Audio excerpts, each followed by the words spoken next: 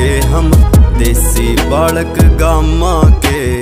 एक गेड़ी में सैड बिठाला तेरे जैसी सुंदरा ने फिर जैक्स पैरो बन का डावा डॉलर देख समुद्रा में कलम गुरूज मेरी ठेठ सी बोली हरियाणे ते दरअसल मैं उठ का कोई जानदा नहीं जब बाजा का सर्कल में एक लाख डॉलर की गाड़ी तेरे यार के नीचे है आगे बढ़ने वाले ते सारी दुनिया सदायो खींचा है